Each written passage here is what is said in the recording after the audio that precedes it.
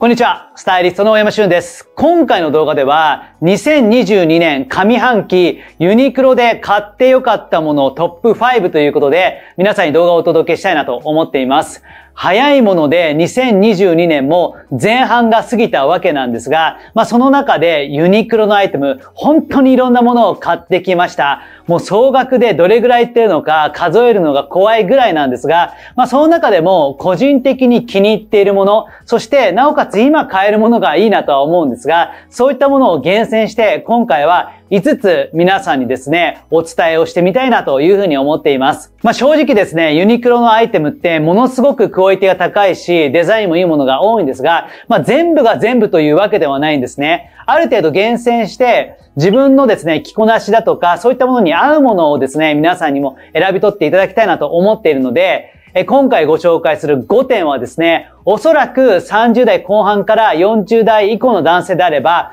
もうマストアイテムになるようなものばかりかなと思うので、ぜひ皆さんですね、最後まで楽しんでいただければなというふうに思っています。こちらのチャンネルではこのような形でメンズファッションの基本ですね、なるべくわかりやすく解説をしていますので、よかったらチャンネル登録の方もよろしくお願いします。それでは早速、行ってみましょう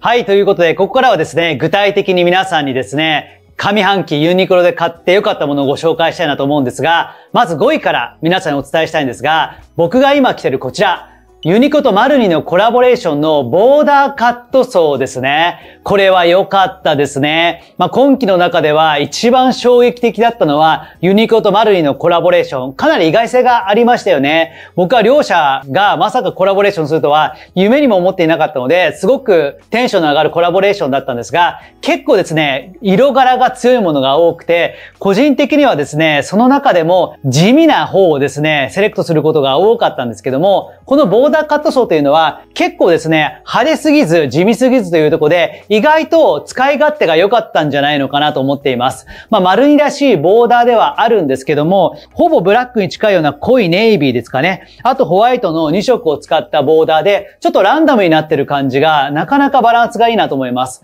あと襟元がですね、ちょっとこう鮮やかなブルーになっていまして、ここもですね、重ね着した時に結構目立つんですね。このバランスも含めて非常にいいのと、ああと背中側ですね。これがね、大胆なボーダー柄になっていまして、グラデーションでピッチが太くなっていくような、ちょっと変わったデザインになってるんですね。なので、ちょっと僕ら世代では、おっと、ちょっとこれはむずいんじゃないかと感じる方も少なくないかなと思うんですね。まあその点僕も同じで、結構最初はインパクト強いなと思ったんですが、僕はこのような形で T シャツ1枚のスタイルで着ることはほとんどないです。というよりもないと言った方がいいかなと思うんですね。これは僕はですね、どのように使うのかというと、重ね着のパーツとして使いたいなと思っていまして、僕はこの上にですね、例えば、ジャケットを羽織るようなスタイルが結構いいんじゃないかなと思ってまして、まあ軽くですね、ラフにこういった、まあカーディガン感覚でジャケット羽織ったりするんですね。まあこんな感じで羽織るとですね、見ていただくとですね、ジャケットのインに使うと、程よいアクセントとして、この丸いのボーダーが機能してくれるかなと思います。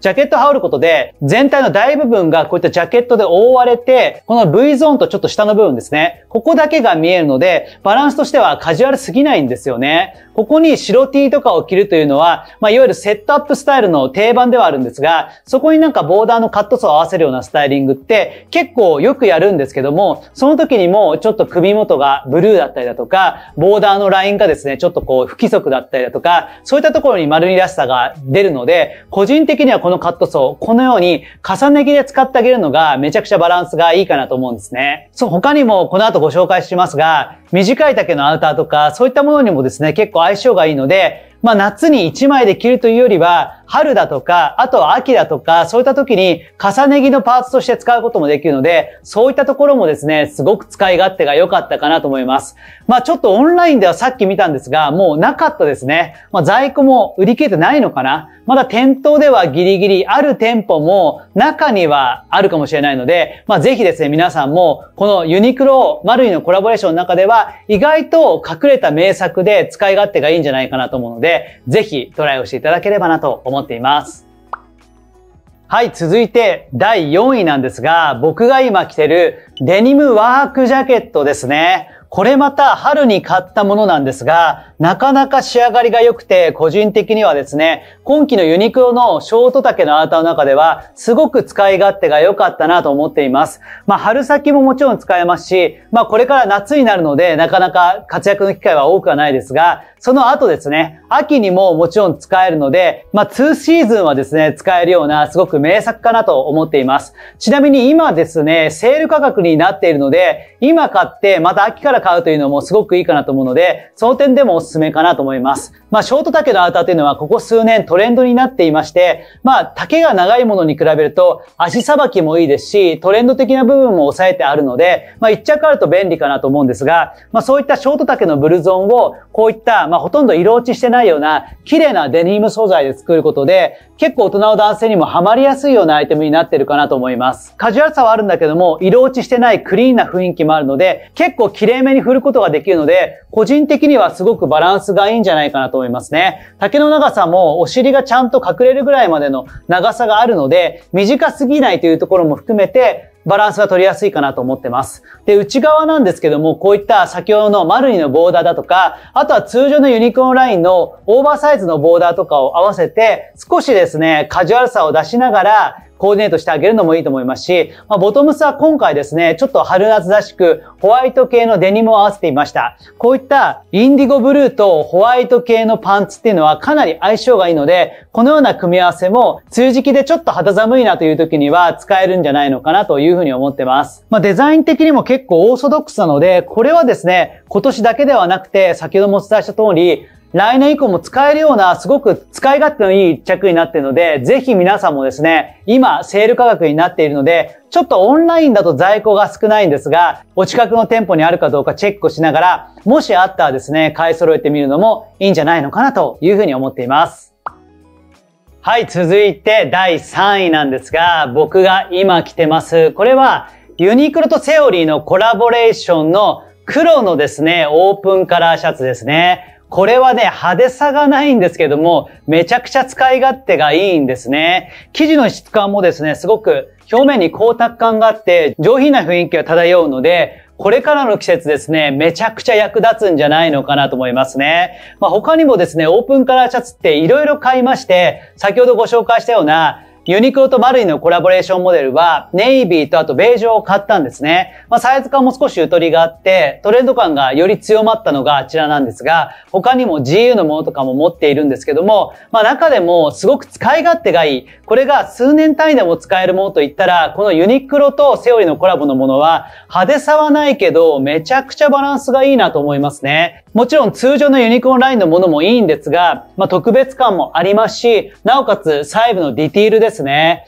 まあ、サイズ感も少しゆったりめだとか、あとは素材使いというところも含めて、まあ、まさに完璧な一着かなと思うので、ユニクロとセオリーのコラボレーションの中では、これがもう断然個人的には気に入っていますね。僕はどのように合わせるのかというと、内側にはですね、白の丸首の T シャツを着て、ちょっと襟元から覗かせてあげる。まあ、ブラックなのでちょっと重たいので、このような白の分量がちょっとだけ覗くだけでも結構明るさが出るかなと思います。あと、ボトムスに関しては、いろいろと合わせてみたんですが、僕は今季ですね、グリーンレーベルさんとコラボレーションして作った、このシアサッカーのね、ちょっとグレーとブラックが混ざったような、このですね、ストライプの雰囲気のパンツがめちゃくちゃ相性がいいなと思ってます。まあ、両方ともブラックとグレーということで、モノトーンで相性がいいんですね。で、足元はですね、ね昨年購入した GU のグルカサンダルですね。この感じが一番収まりがいいなと思ってまして、なんか大人の男性がちょっとモード感がありつつ、綺麗な雰囲気で着こなしを作るにはですね、この組み合わせが結構鉄板かなと思うので、ぜひですね、皆さんユニクロとセオリーのコラボレーションのこちらの反省シャツ、まだ売ってるのかな？ちょっとオンラインで確認し忘れたんですが、まあオンラインもしくは店頭でまだ在庫が残っていたら、これは名作だと思いますし、まさにこれから夏に向かってすごく活躍してしてくれると思うので、ぜひトライをしていただきたいなと思います。まあちなみにこのシャツに対して、ショートパンツですね、そういった形で合わせてもらうのも結構バランスがいいかなと思うので、一着あれば様々な着こなしにも対応できますので、ぜひ皆さんもトライをしていただければなと思っています。はい、続いてはですね、2位と1位をそのまま流れでいきたいなと思うんですが、もう今来ています。まずは2位はですね、こちら、オーバーサイズクルーネック T シャツ、ユニクロ U のものですね。こちらのブルーがですね、めちゃくちゃ良かったのと、そのまま1位もお伝えしますが、タックテーパードパンツのブラックですね。これが2、1ということで、そのまま着てしまえばコーディネートが完成してしまうので、この着用した状態で皆さんに解説したいなと思ってます。まあ、ユニクロ T シャツ様々なバリエーションがあって、まあ、一番評判がいいのは、ユニクロ U のエアリズムコットンオーバーサイズ T シャツだと思うんですね。あれはあれで本当に名作で間違いのない選択だと思うんですが、まあ先日ですね、ユニクロの T シャツのランキングを皆さんにお伝えしましたが、その中でも僕が1位だと思っているのが、こちらのオーバーサイズクルネック T シャツなんですね。まあ大きな違いというのはサイジンングと、あとはこのポケットですね。これがあるかないかで結構見栄えも変わってくるかなと思ってるんですね。僕はこの T シャツにポケットがついてるというアクセントがすごく好きなんですね。今はですね、僕のトレードマークにもなってますが、まあサングラスをここに入れている状態なんですが、まあ何かワンポイントあった方が個人的には安心感があるのと、サイズ感もユニクロ U のエアリズムに比べると少し袖の長さもこちらの方が短かったりだとか、丈のバランスも含めてちょっとだけコンパクトな感じがするんですね。あとは横から見るとわかるんですが、前と後ろで長さを変えてあったりだとか、このあたりのディティールも含めてすごくバランスがいいのと、なんといっても色ですね。このブルーという表記が個人的にはめちゃくちゃいいと思っていまして、ちょっと表面に混じりっ気があるんですね。ブルーというよりこれグリーンじゃないかなと思うんですよね。グリーンに対して細かいですね、ちょっとブラウンっぽい色が混ざってたりだとか、そのこう色の混じり感が高級感があって、なかなかいいんですよね。ダークグリーン、オリーブ、そしてブルー、そのあたりの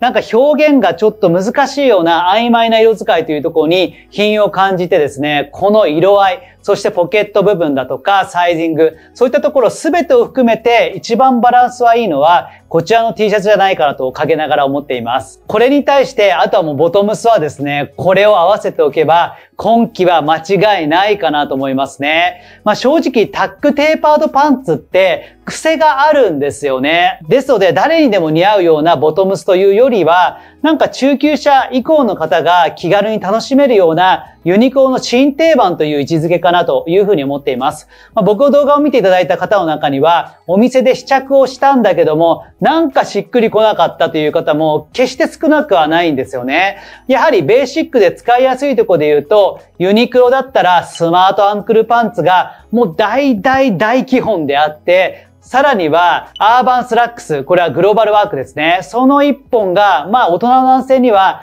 シンプルで、なおかつ足をきれいに見せてくれるので、使い勝手がいいんですね。ただその2本ではなかなか満足できない層がいるのも間違いのない事実で、ちょっとおしゃれが好きな方にとっては、今っぽいゆとりのあるシルエットというところが気軽に取り入れられるというところでは、このタックテーパードパンツは間違いなく今季のベストバイだったと思いますね。僕はすでにこれ3本所有をしてまして、ブラック2本と、あとグレーも持っているんですね。まあ、それぞれ使い勝手がいいので、僕にとってはもうユニフォームになってしまいました。それぐらいですね、こう、おしゃれが好きなな方にとっては響くアイテムかなと思います。意外と生地も薄くて、夏に入っても風が通り抜けるようなゆとりがあるので、そういった点でもすごく安心感があるんですが、ちょっと秋冬は使いづらいかなと思うんですけども、どうやら新作を見てみると、タックテーパードパンツの秋冬バージョンの素材も出そうなので、それもですね、出たら早速買って、もう一年中このシルエット使いたいなと思うぐらい、もう名作だと思います。僕はこのようなブラック系のイージースラックスはもう大好きで、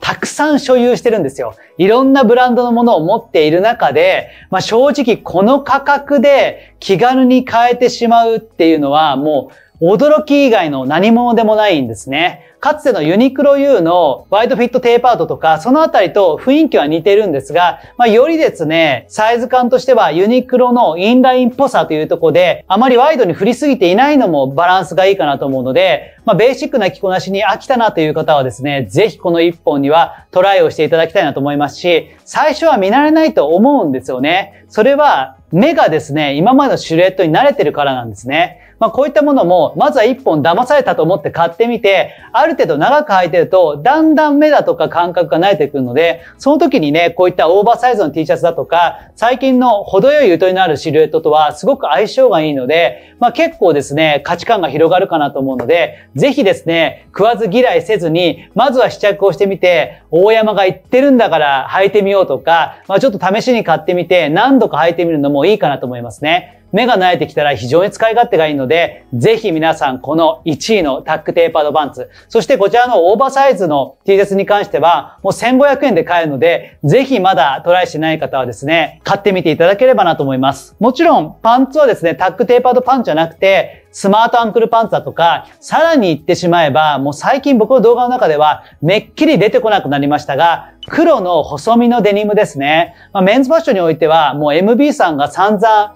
ご紹介されているアイテムですが、もう大定番ですね。それが古臭いかというと、今の旬なアイテムではないんですが、やはり細身のブラックデニムとかっていうのはもうベーシックな範疇に入ってくるようなものなので、そういったもので上半身程よくゆとりを出して、ボトムスで引き締めるというバランスも結構良かったりするので、まあ、原点回帰で黒系のパンツをですね、合わせるのもいいかなと思うので、このような形でぜひ皆さん1位と2位の商品も試していただければなと思っています。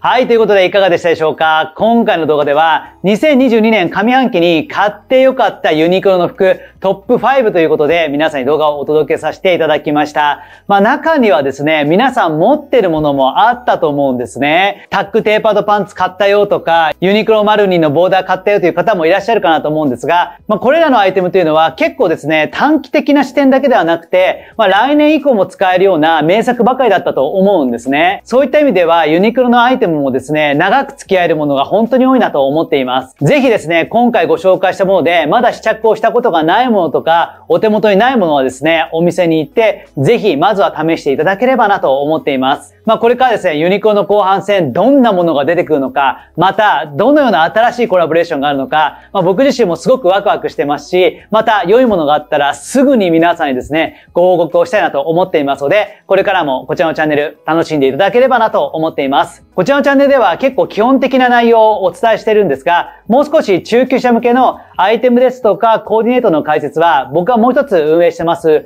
YouTube のメンバーシップチャンネルの方で解説をしてますので、まあ、気になる方は概要欄からチェックをしていただければなと思っています。また最近ですね、オンラインサロンをスタートしました。なかなか動画を見る時間がないんだよなという方はですね、文章とか写真ベースでおすすめのアイテムですとか、あとはコーディネートの解説を1日5本ぐらいの記事を投稿してますので、そちらも気になる方は概要欄からチェックをしていただければなと思っています。以上、スタイリストの大山俊でした。また次回の動画もお楽しみに。